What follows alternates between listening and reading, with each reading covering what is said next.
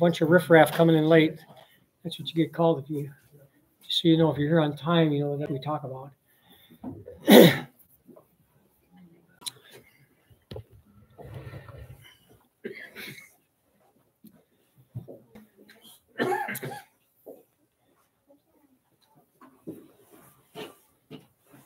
All right, Brent, you're gonna lead a prayer and include Don's mom and stuff. Uh, yeah, yeah, yeah, there are prayer requests that we need to add to anybody. Guess we should include Pam Campbell through Yeah. recovery. Um, That's about. God and Father, we are blessed to be here this evening. Father, we pray as we look forward to the study of your word and we thank you for Mike.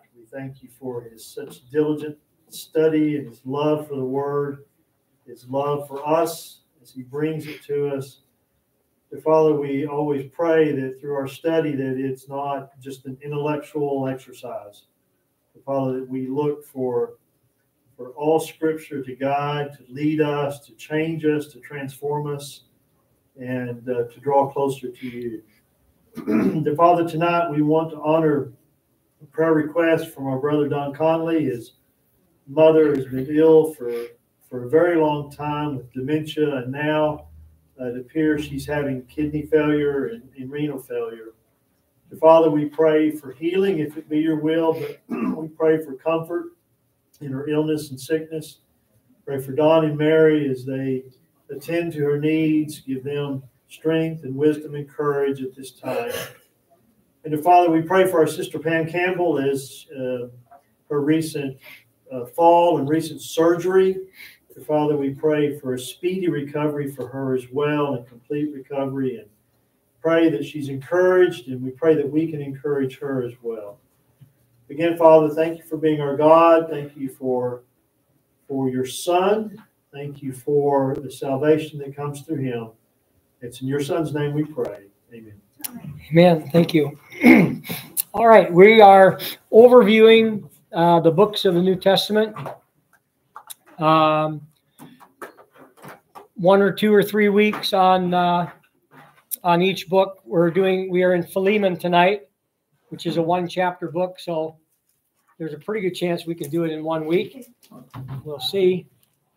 Uh, there, it's actually uh, loaded with really helpful uh, biblical information. So, so we're right before Hebrews. If you can find Hebrews, at one page of uh, Philemon, uh, and the writer of the letter is Paul. Uh, begins with chapter one, verse one.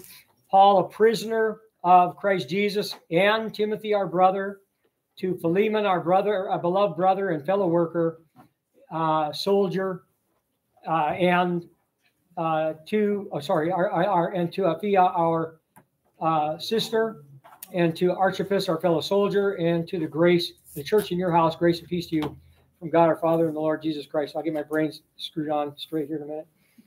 Uh, so Paul is the writer uh, of the letter, the Apostle Paul, and uh, he is in prison again. There's five, you know, the Ephesians, Philippians, Colossians are kind of lumped together as the three prison letters.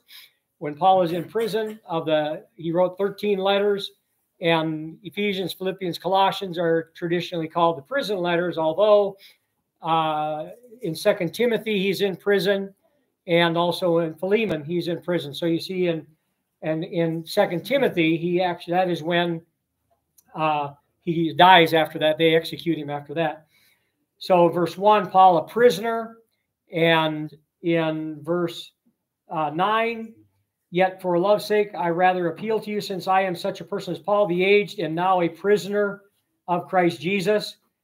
Uh, I appeal to you for my child, whom I have begotten in my imprisonment, uh, Onesimus. In verse 13, uh, whom I wish to keep with me, that in your behalf he might minister to me in my imprisonment for the gospel. And then verse 23, Epaphras, my fellow prisoner in Christ Jesus, greet you. So Paul is writing uh, from prison. you know, some of the times when Paul was in prison, it was more like house arrest. it was very uh, loose and uh, fairly easy. He just kind of he did have somebody with him, uh, a guard guarding him, but it was very relaxed uh, situation. He's not in chains, sitting in the bottom of a dungeon somewhere, and sometimes that did happen to him. Uh, the reader is the recipient of the letter is Philemon, and this is the only time his name is mentioned in the Bible, verse one. So Paul, a prisoner of Christ Jesus, and Timothy, our brother, to Philemon, our beloved brother and fellow worker. Um, and so uh, it is uh, hinted at, or uh, some of the scholars think in verse 2 and to Apphia, our sister, that that is likely his wife, uh, Philemon's wife, and even to Archippus uh, in verse 2, our fellow soldier, and to the church in your house, that that uh, Philemon, Apphia, Archippus is maybe his son, who's a preacher, and there's a church in Philemon's house.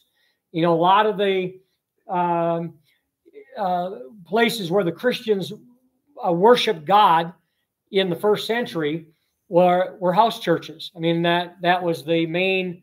Once the Gentile movement started, it started with Jews becoming Christians, and they would worship still in the synagogues a lot, uh, till it, till uh, till the uh, Jews got some of the Jewish leaders got very angry and and uh, kind of pushed them out. But when the Gentiles started being converted, and of course, in some communities, you had to have 10 Jewish men in order to have a synagogue. So, in some of the communities, uh, when the Gentiles were being converted, it was a heavy Gentile area, they might not have a synagogue. A lot of places where they didn't have synagogues. And I mentioned before, um, when I was in Lithuania in 1998, uh, when we we did uh, had a Russian girl named Natasha that did some touring with us and so on. She said in uh, Vilnius, the capital of uh, Lithuania, that uh, before World War II, before Hitler, Vilnius had 108 Jewish synagogues, and today there's only one. You know, so Hitler just, you know, his henchmen just wiped them out, and um, so. But point is, is that there were a lot of Jewish synagogues, and especially in Israel, and so. But when the Gentiles start being converted, and it's more become starts to become, especially in Paul's case, you're outside of Judea so you're up in uh, up in modern day Turkey, or what is Turkey today, or over in Greece, uh, you know, like uh, Colossae and Laodicea, Ephesus, some of these others there. Uh, Ephesus would have a heavy Jewish concentration, but like some of those other cities that we looked at, they'll have a, uh, those are modern day Turkey. And so uh, Philippi, Thessalonica, Berea, uh, Athens, Corinth, that's modern day Greece. So you, you're likely to have a lot of house churches. And then in Rome, a lot of house churches. So what would happen, I mean, like, uh, you know, where we were converted back in 1981, uh, which my spiritual birthday was uh, yesterday. And uh, so uh, uh, I've been rejoicing. Anyway, um, who'd have thought, oh, God, I forgot to call Don and Kathy. I need to do that those are the couple that worked with us. I call them every year and tell them thank you. And you know, a few years ago, Kathy told me that the missionary up there told her, "You're wasting your time on that Meierhofer," and uh, which is pretty. He's a good friend of mine now, uh, and I, I, knew him a little bit. We it's not that he didn't like me, just thought I was a waste of time because of the way I was living. You never know. That's true. Yeah, I think we're pretty good friends now. He's been to Cambodia for us a few times, so. Uh, Happy birthday. Thank you. Yeah, thank you. Thank you. Big life change. Uh, long story. Anyway, so the church up there in St. Cloud, Minnesota, uh, was a house church. So it was a three bedroom, uh, bi level house. And there were three bedrooms upstairs. Two of the bedrooms were classrooms for the children. The third one was as well, the master bedroom. And the master bedroom had a bathroom in it. That was the men's room and then the ladies' room was the main bathroom in the house. The kitchen sometimes was a classroom. And the dining room sometimes was a classroom.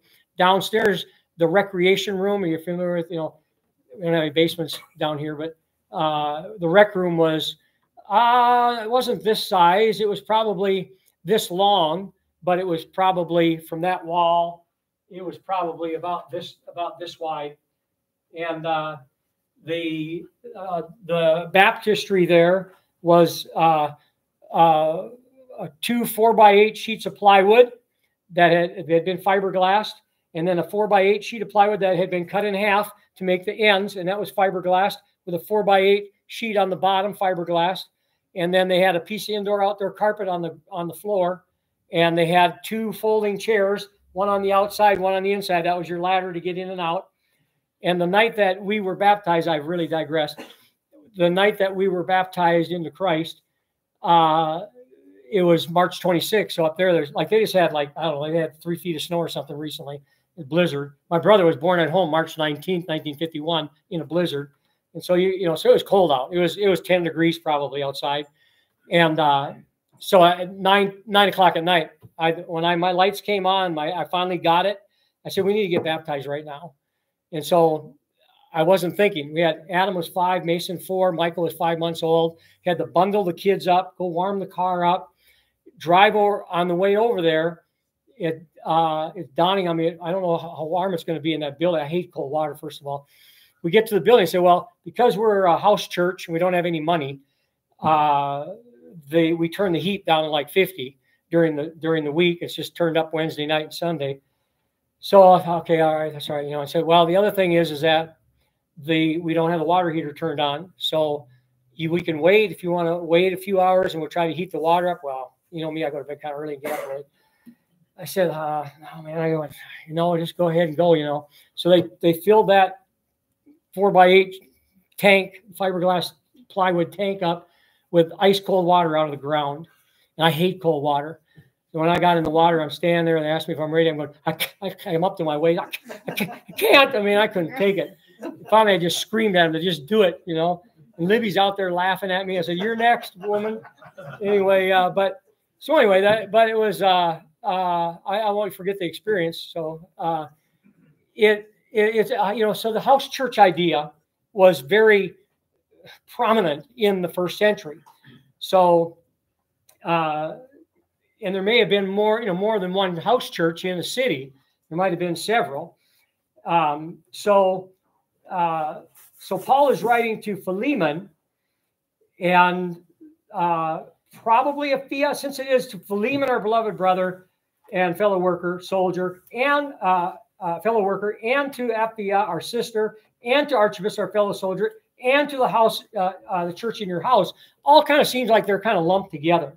So anyway, it doesn't make a uh, big difference, but it's, it's possible that that is the case. If you back up just briefly to Colossians, uh, we see the other reference to um, Archippus, Archippus, however you want to say it. So in chapter four, the end of Paul's letter to the Colossians, uh, and again, Colossae is in modern day Turkey, not a very prominent town at that time. So he closes the letter in verse 7, chapter 4, verse 7. As to all my affairs, Tychicus, our beloved brother and faithful servant and fellow bondservant in the Lord, will bring you information. So Paul's in prison. Tychicus is going to deliver the letter. He's like a mailman. And uh, I've sent him for the very purpose that you may know about our circumstances. He may encourage your hearts. And with him, Onesimus, our faithful and beloved brother, who is one of your number. So Onesimus is from Colossae. Um, and they will inform you about the whole situation here. Uh, Aristarchus, uh, our fellow prisoner, uh, sends you his greetings. Also, Barnabas, cousin Mark, and so on, and Jesus, who's called Justus. These are the only fellow workers who are from the circumcision. So those are the Jews. But then you have Epaphras in verse 12, who's a faithful member, and Luke in verse 14, and in verse uh, 17, and say to Archippus, so that he's, you know, when you get this letter back to Colossae, Archippus is there. Uh, tell him, take heed to the ministry which you've received in the Lord that you may fulfill it. So he's likely uh, the preacher there uh, at the church. So, but anyway, that's the other mention of, of uh, Onesimus. So I'm going back to uh, uh, Philemon now. So it's a very personal letter, but also it's kind of a letter, early Christian missionary type work, things that would normally happen. Paul's getting older in verse 9 uh, Philemon 9, verse 9. Yet for the uh, love's sake, I rather appeal to you since I am such a person as Paul, the aged, and now also a prisoner of Christ Jesus. So Paul is getting up there. He's getting, you know, he gets out of here, um, or uh, at least if he's not out of there, uh, which I think that he is, that uh, because it's kind of a loosely held uh, situation, that probably he leaves and is able, he gets out of prison. He didn't, they didn't keep him there forever at times. Um, and, you know, far more imprisonments when he talks about that in Second Corinthians 11. So he's imprisoned many times. And, uh, and so uh, he, he last letter he writes is Second Timothy. So this one is close to that. Probably we're getting around maybe the year 62 AD. So 30 years after Jesus, uh, Paul is writing this from uh, likely Roman house arrest. Some people think Paul got out of prison and then got rearrested and put back in prison uh, in like 63 or so. Um, now, the uh, some of the historians think that that's the way it flows. But we know when Paul, when uh, Luke writes the book of Acts, how it ends is very open. That uh, we'll turn there real fast. The end of end of Acts. Matthew, Mark, Luke, John, Acts chapter 28. Um, so you know, Luke's been traveling with Paul off and on, and Luke is getting you know information from Paul uh, to write in his gospel and in the book of Acts. They also meet in Jerusalem. They meet James, the brother of Jesus, who'd been converted and became kind of one of the main leaders in the church in uh, Jerusalem. And the elders and likely the other apostles met with them as well. So Luke's documenting, writing all these things down. But he is especially tracking Paul's activities. First part of Acts deals largely with Peter and his activities as an apostle. Hardly anybody else is mentioned, and hardly any other apostles are mentioned in the second half of Acts which is largely about Paul and his ministry to the Gentiles. So when it ends in chapter 28, uh, Paul's tried to talk to the Jews, which was his custom. Go to the Jews first, and um, and some of them listened, some of them didn't. And so uh, Paul says in verse 28, chapter 28, verse 28, let it be known to you, therefore, that this salvation of God has been sent to the Gentiles. They will also listen. And when he had spoken these words, the Jews departed, having a great dispute among themselves. And he was staying, he stayed two full years in his own rented quarters uh, and was welcoming all who came. So he's, he's a, a loose house arrest, preaching the kingdom of God and teaching concerning the Lord Jesus Christ with all openness, unhindered. So nobody telling him to stop talking about Jesus. I've had people tell me that uh, off and on to stop talking about Jesus, different places. Lithuania was one of them where I was told to stop talking. Um, and uh, but I've had it happen here as well. Um, and sometimes it's not my fault. So uh, Libby will tell me to stop talking sometimes. Uh, so, but what's interesting is that when that Paul is under house arrest here in uh, chapter 28 of, of Acts, verse 20, verse 20, 20, chapter 28, verse 20. For this reason, therefore, I requested to see you and to speak with you, for I am wearing this chain for the sake of the hope of Israel. So he's locked, he's he's he's moving about freely, but he's not 100% free. Um, and I'm going back to Philemon, but I'm making the point Sunday morning in class, probably this Sunday, that is it was a badge of honor to be martyred. You know, Stephen, Luke doesn't hesitate to write about him doesn't hesitate to write about some of the persecutions that the Christians go through, like Paul and Silas and like Peter and John and so on. Um, and he, he's quick with his pen to write about uh, James, the, uh, the brother of John, the two brothers of, Zebedee, that uh, he has his head chopped off in chapter 12, verse 2 of Acts. So if Paul was was killed, executed in the in the mid 60s, um, he's still alive here when Luke writes, you know, if, if he had been killed, Luke would have written it.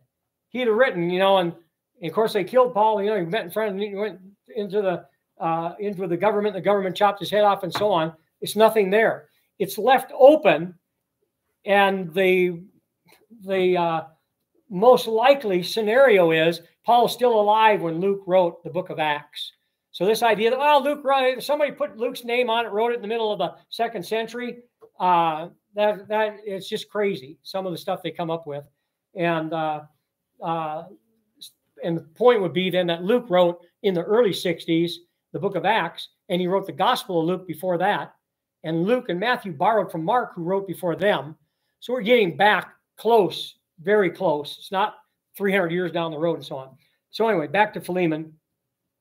So uh, it is a bit of a neglected book. Philemon is well, not a bit of it. It's very neglected, and I, I liken it to uh, if you have like if you have hotels on Mediterranean and Baltic Avenue, it really doesn't mean much in Monopoly, right? If you know how to play Monopoly, uh, you know those are the first ones that you leave go, and uh, you know it doesn't cost hardly anything. But if you got Park Place and Boardwalk, whoo, you're big stuff, you know. Uh, and Philemon is kind of like that. It is not really uh, treated. Paul wrote 13 letters. It does kind of go with the longest letter to the shortest. You know, Romans, First and Second Corinthians, Galatians, Ephesians. They start getting smaller. Um, and uh, with Philemon, obviously, there's 335 words in Greek in the whole letter. Um, and I didn't count them, but I uh, uh, one of the scholars that I trust said that. So, whereas when Paul writes the church at Colossae, he writes about a problem with the church. When he writes to Philemon, a member of the church, it's a much more personal issue. So, uh, what's happened? We'll read if you don't know. Some of you may not have ever read Philemon.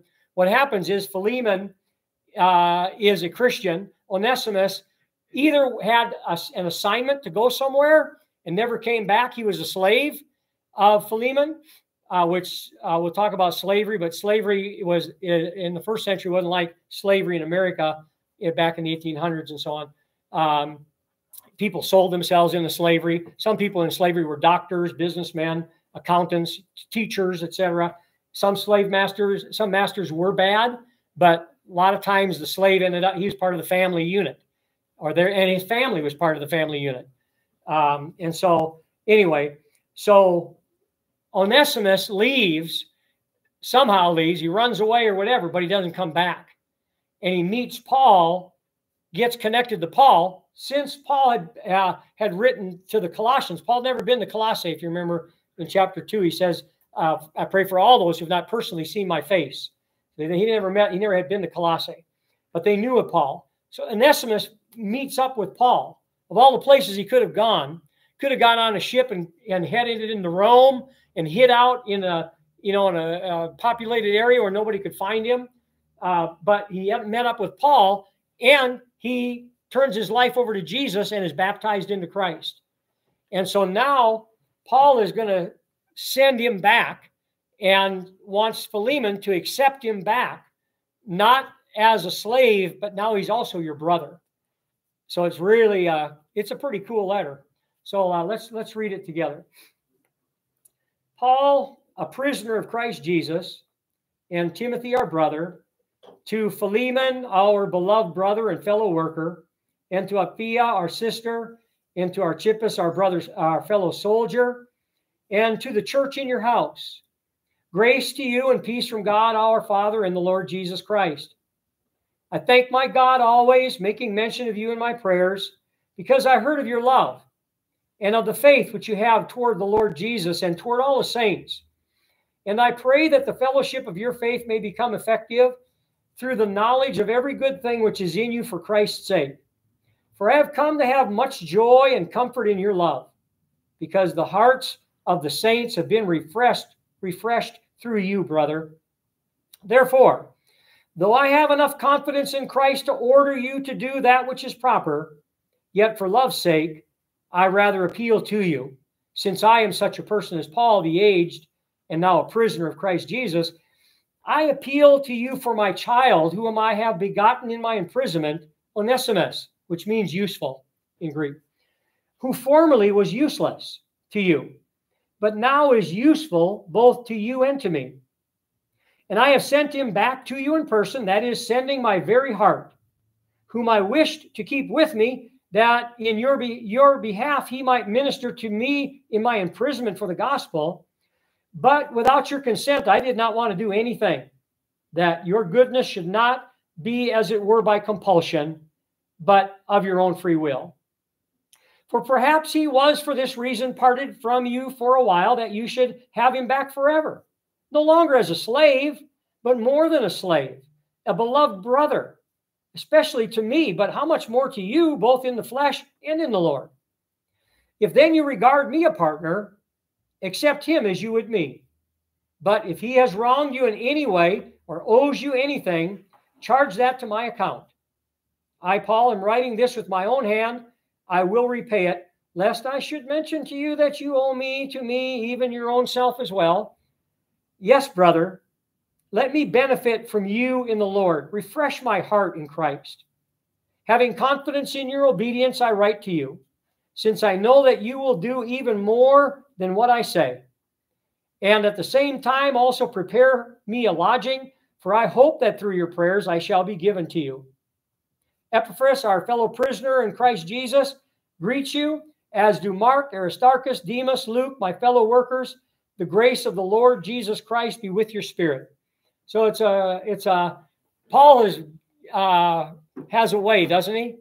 Um, I'm not ordering you, but I would like to kind of remind you about, you know, the, you know, you're a little indebted to me, buddy, and uh, it's it's pretty. Uh, uh, Paul has a lot of wisdom, Christian wisdom, and of course, Paul is writing uh, when he says, I'm writing with my own hand, maybe that he has a secretary and he's, and he's just letting them know. Uh, you know, we see like in Romans 16 where you have a guy that's is a uh, is writing for Paul and Paul oversees it. And it's exactly what Paul once said as an apostle. And the Holy Spirit is breathing through the pen of Paul as he writes uh, that it's exactly exactly what God wanted to have said. So, but that doesn't mean God doesn't use their individual personalities. So, you know, Luke is a doctor. And so when Luke in the Gospels talks about somebody who's sick or in the book of Acts, he'll use some deeper medical terminology than uh, Matthew, Mark, and John would. And, uh, you know, uh, John is a fisherman. His Greek is is rougher. You know, so God's using their individual personalities, their individual skills. Paul is a massive theologian, Pharisee, raised in under the feet of Gamaliel in chapter 22 of, uh, uh, of Acts that we read. So he's a very learned Jew, very intelligent guy, and uh, God uses that. And so when Paul writes, the Holy the Holy Spirit is uh, breathing through his pen, but it's not like Paul or anybody else who writes is just zapped and they're just writing, you know, uh, they're uh, God's using them miraculously using them in their personalities, and it's, exactly what God wants written. Um, kind of like what Luke says, so that you will know the exact truth of the things you've been taught. That when he writes Luke chapter one verse four. So uh, Onesimus was a slave but had run away um, and didn't come back. Maybe he stole money. Uh, you know, in verse 18, if he's wronged you in any way or owes you anything, charge that to my account. And so, uh, but it may be that just that him not being there cost uh, Philemon some money, uh, and not being there, uh, he's provided for. And so uh, uh, he he may be in debt in some in some way. And so he stays in Rome. He helps Paul, um, and then Paul sends him back to Philemon with Tychicus, the guy that's carrying the letter. He comes back with him. And Onesimus left Philemon as a thief, maybe, but definitely as a fugitive, a runaway. But he's going to return as a brother in the Lord.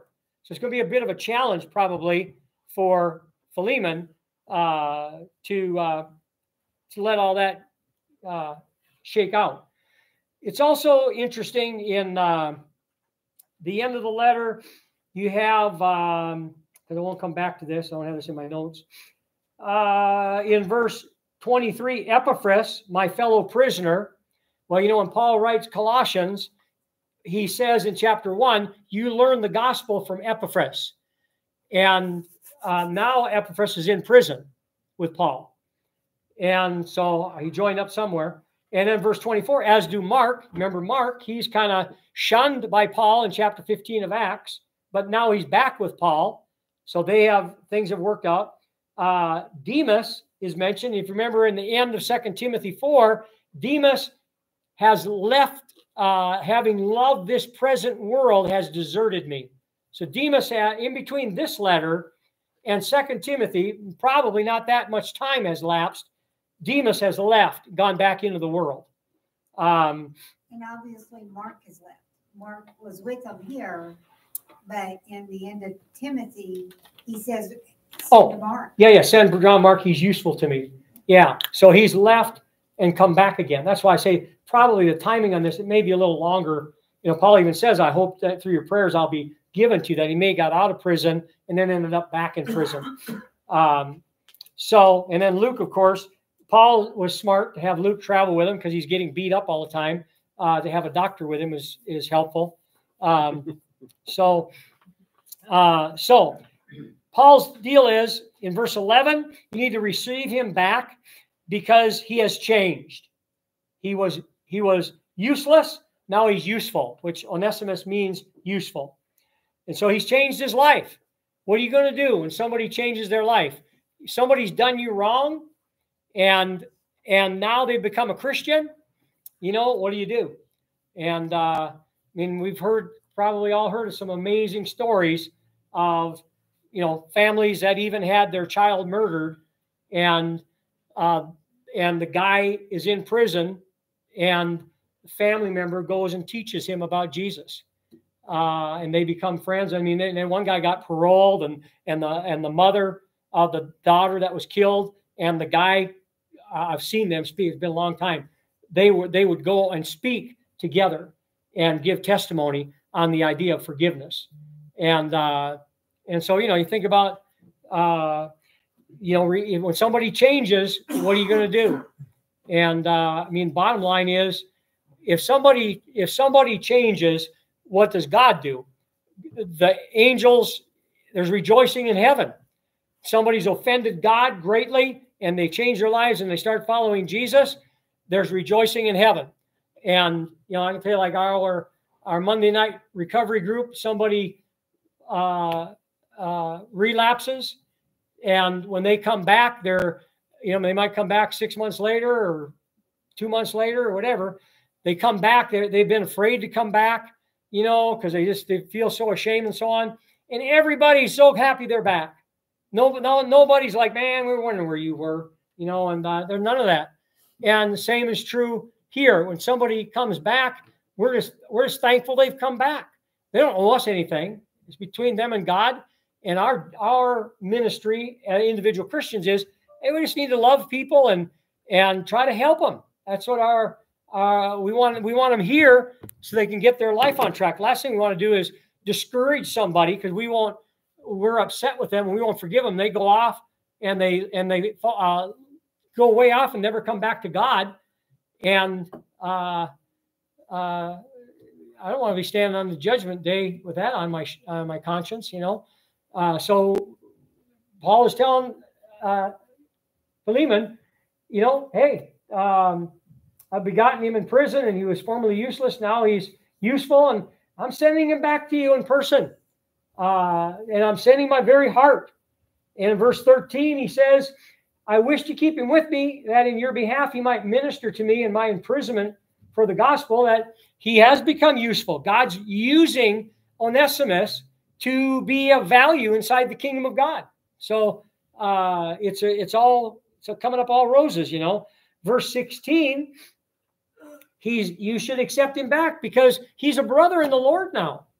And uh, uh, and instead of you know just looking at him, no, I don't care. He ran off, you know, and he owes this, and this person did wrong to me, and you know, then uh, you know, man, uh, uh, you know what Jesus says, right?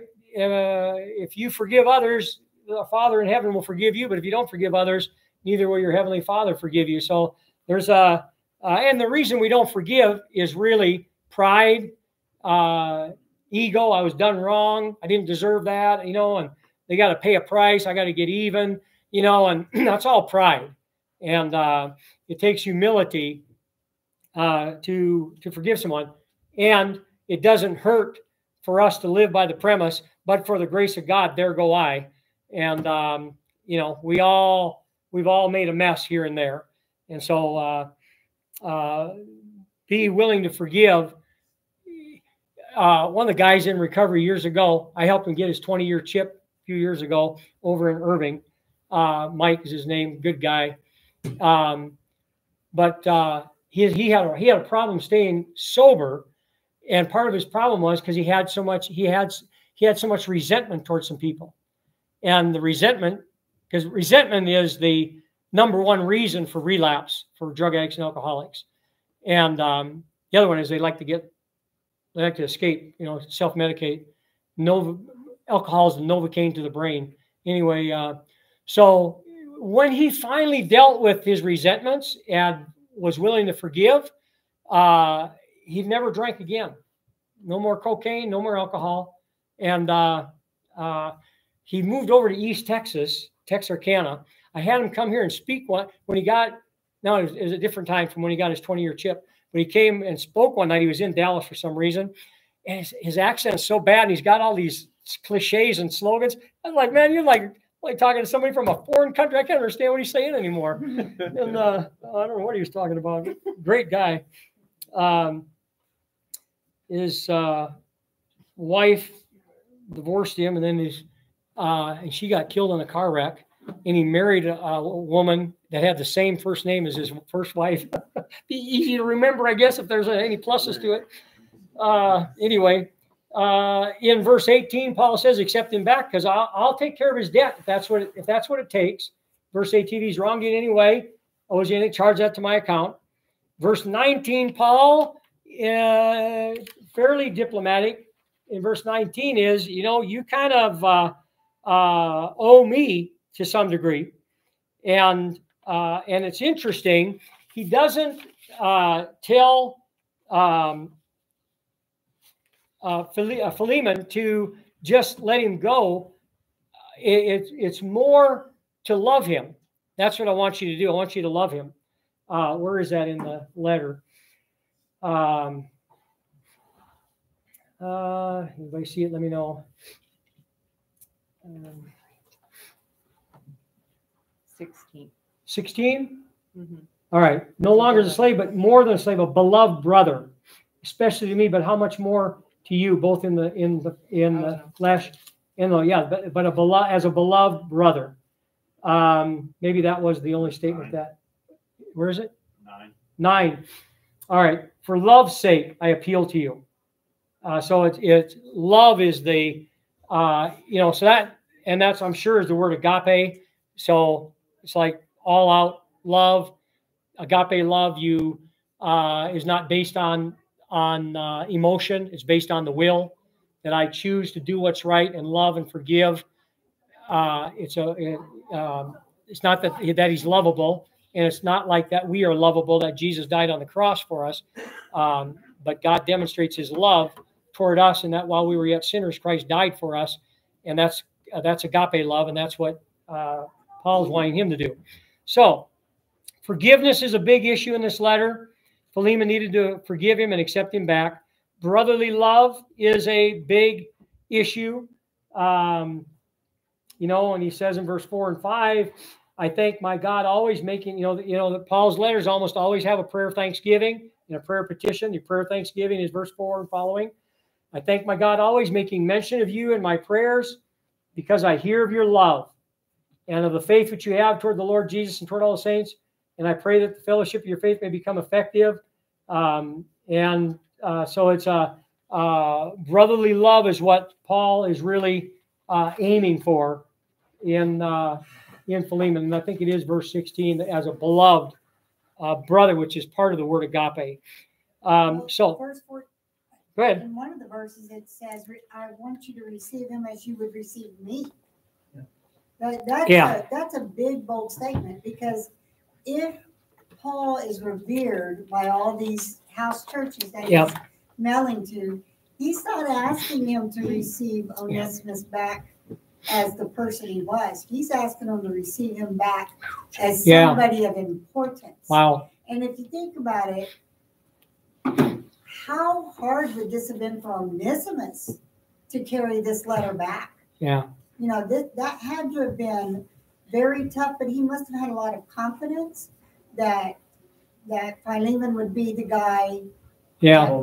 And obviously he wasn't, because a letter like this would have been buried if it Yeah. didn't happen. Well, This letter is out for everybody to read. I think Yeah. it was sent to all the churches to teach them how to treat. oh, that's a very good point that, that this letter teaches Christians in churches how to get along. And the key is always is uh, it's not about me, it's about the Lord. And uh, and it's about God using me to be a blessing to other people. That's our goal. Uh, we have good unity here, and that's a lot of the reason why, Brent. Yeah, I was thinking about, you know, if you were to put in the mind of Philemon, you know, before he knew he was a Christian, you know, he probably had the right, the legal rights to treat Onesimus Oh, in a oh, certain for way sure. when he came back. For sure. And in America, don't we talk about rights Yeah, yeah. all the time? Yeah, And we don't have any rights in the church. that's right. We don't have rights. Yeah, And, and that's really what Paul was saying. I think, put that right away. It doesn't matter anymore. That slave owner relationship is gone. yeah, And even though you might have had a right to treat him in a certain way, not in That's Christ, right. you don't. yeah. Very good point. That uh, now he's a brother. It's a whole different ballgame. But the getting out of ourselves and making it about it's kind of it's it uh, anytime individuals or a church or an organization turns inward, you're in trouble. You're in trouble because then people get selfish and it's about me. He's thinking about me. She's thinking about me, and you got then you got problems. And uh, so uh, getting uh, uh, so that's why part of being a mission church, which that's why I say I don't, you know, I don't care how long the church has been open. We're a mission work. That's how who we are. And I probably have told the story before. You know, the I didn't. I probably told it in here a month ago. Did I? Uh, the dad and the boy, and the boy takes his buddy out and they go fishing. Good. I'm glad you haven't heard. Um, Keep going. We Okay, might yeah. there's no bad words or anything in it. And uh, anyway, so they go out, they get the tent set up, they go to get in the boat, start fishing, it starts raining. So man, they're all excited, having fun. And they go back to the tent and start playing cards and laughing and talking and so on. And rains all night. Next morning, they get up to go fishing. It's still raining.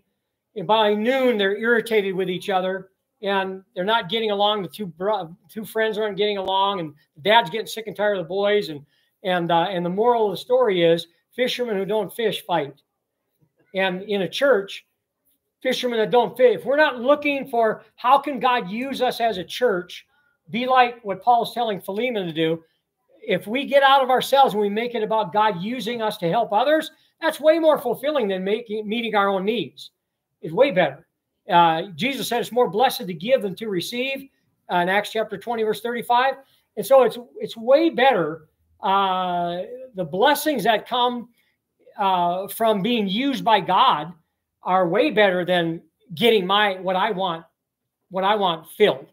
And uh, uh, anyway, so I think Philemon that has a value to it because of that. Connie, I think that as sadly as Philemon is neglected, I honestly believe this should be where the foundation of everybody's Christian yeah, education begins, is Yeah. with Philemon. Yeah. Because Philemon teaches us on both sides of the fence. If we have been the one that owes a debt, that we be brave enough to, to face. Own up to it. Yeah. And it also to the person who was wronged, you know, I think it should be the basis of how we behave as Christians. Yeah. Is how we treat one another. Yeah. And it's, it's a Yeah, perfect, simple Yeah. lesson to learn. Yeah, that's why I said it. Uh, one of the scholars said it was a um, um, it was a it's more uh, it's an instrument of early Christian missionary work. Uh, I can't remember who does the word biblical commentary, but they're the premier uh, commentaries. Uh, name slips my mind right now, but uh, but I think you're right that this is a good for a short little letter. It's, it's really packed. Raul, I had heard, oh, go ahead. Well, I had heard criticism that a lot of people don't like finding Philemon because it showed that slavery happened. But really, what it shows is that in this case, slavery was abolished. It was asked to be Yeah, removed. And so I think it's a, a perfect letter to start Yeah. with. absolutely, absolutely. Raul? The word says that if we don't have love, we don't have God. Right, so if you don't have love. Yeah. you got nothing. Yeah, and, uh, Mike? Uh, it just harkens back to uh, Philippians two, five through eleven. And it says, let, or it says, uh, let the same mind be in you that was in Christ Jesus. Talking about humility, Yep. not seeking your way. So Paul's really using that same dynamic to Philemon. Very good. Say, don't, don't be uh, self-centered demanding, but rather be like Christ, have the mindset of Christ. Yep. And he humbled himself, didn't expect or seek his way. Yep. Be like that. Think it's very good. Yeah, Philippians 2, uh, when he talks about don't do things from selfishness or empty conceit, consider uh, others more important than yourself. That's a that's a that's a challenge. Um, as far as slavery, there's there's there's a lot of mistaken ideas about that by the skeptics or critics of the Bible. Um, that uh, one of the reasons why they don't like the Bible is because God, the Bible is in favor of slavery there's not a verse that teaches the Bible is in favor of slavery. God was not in favor of slavery. Uh, Paul was not in favor of slavery. Anybody ever hear? He's dead now. Dr. Gene Scott, guy, the guy from California, that would uh, had a captain's hat on. He would smoke cigars while he would preach, and uh, he'd blow the smoke into the camera. And uh, oh man, you, if you can get any of it on YouTube, it's worth watching. But anyway, he said uh, uh, uh, Paul Paul was in favor of slavery. He was wrong about that. And now, now, don't get me wrong, Paul was a genius, but even geniuses make mistakes. And he goes, I got married. And then he takes a puff on the cigar and blows it into the camera. Oh, man, that's a classic line. Oh, anyway, but uh, anyway, but he's wrong. He, uh, Paul was not in favor of slavery. There's nowhere in the Bible where it, what happens is slavery is part of the socioeconomic uh, uh, uh, fabric of the culture. A third to a half of the people in the Roman culture, a Roman Empire, were slaves. But some slaves uh, managed the children. Uh, had their own slaves. Some slaves had their own slaves. It's, it's totally different than what when we think of that word. Isn't the criticism though, is that Paul didn't condemn it? Okay, and that's yeah, I mean, yeah, that- I think that's, that's probably the stronger criticism. Sure. But to your point is, people that make that criticism are looking at slavery in America in the, you know, Right. in the seventeen, eighteen hundreds, et cetera. But then there's things like if you uh, were converted as a slave, stay a slave. If you can be free, it's okay. In 1 Corinthians 7. Uh, and what what Paul is always concerned about, what God is concerned about, is the furtherance of the gospel, souls being saved. And so, as a for instance, in 1 Corinthians 6, why not be wrong? Don't be taking a brother, brother taking brother to court. And the Gentile, the, the pagans see that and they criticize Christian in the name of Jesus is, is, is uh, insulted uh, because you're demanding your right there. It's better to be wrong than to do that. And so slavery's a little bit like that. It'd be like uh, a worker, before a Christian worker goes on strike today, they need to think about uh, how does that how does that hurt my Christian influence? Should I go on board? Should I get on board with that? Maybe I'll maybe I'll damage my potential to help some of the people around me, fellow workers, and so on. Uh, what if I you know sign a petition against a teacher or an administrator to get them fired? And you know you you sign that, and maybe you know you may have to abstain and just say you know I'm not comfortable doing that. And some of it is we do things because of the influence of the gospel. What happens is Christianity eliminate if, if the Christian movement would have rose up against slavery, it we probably would never have become Christians. They'd have stomped out Christianity uh, as fast as they could. What happens is agape love ends up eliminating slavery. Over the next uh, decades and couple of centuries, slavery dissipates into nothing, and it's because of the Christian influence. Uh, you know, it's Christians. Christianity is the ones that started hospitals. Christianity is the ones that started orphanages. Christianity is the one that started, you know, educational systems in some of these areas. Uh, and uh, so the the idea that uh, Paul uh, was in favor of it or Paul should have said something against it, um, we we had bigger fish to fry. First of all, the, the you know a lot of the slaves were had good masters, you know, and uh, they were more like employees. It was more like an employer-employee relationship, and uh, and what God's always thinking about is is saving souls. What's the best way to go about that? And if a person has to suffer for people to become Christians, a Christian, or if, if they have to give up some of their rights, if they're like in slavery and they and they uh, stay that way rather than uh, fight against it, um, they we give up our rights. Sometimes you know we, we take one for the uh, for the for the team. Eh, sometimes we have to do that as Christians. Uh, I've had to do it as a preacher.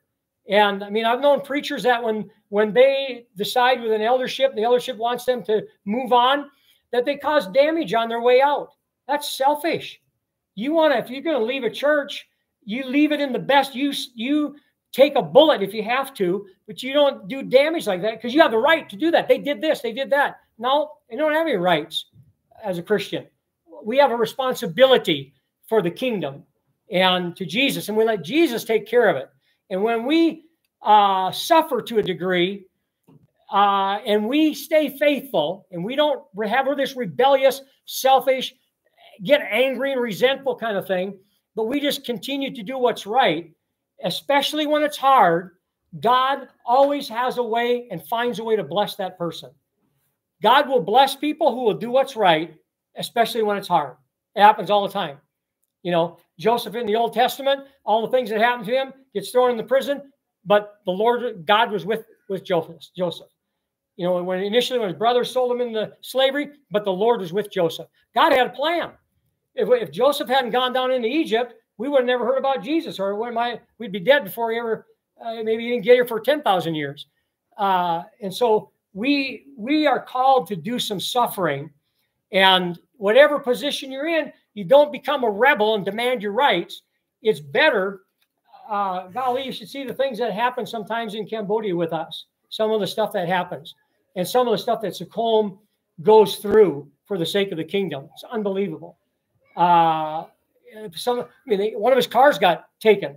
Had, his daughter gave him a car. We got to go, but his daughter gave him a car, had it shipped over from America, and a Muslim leader that we had partnered with uh, took the car from him.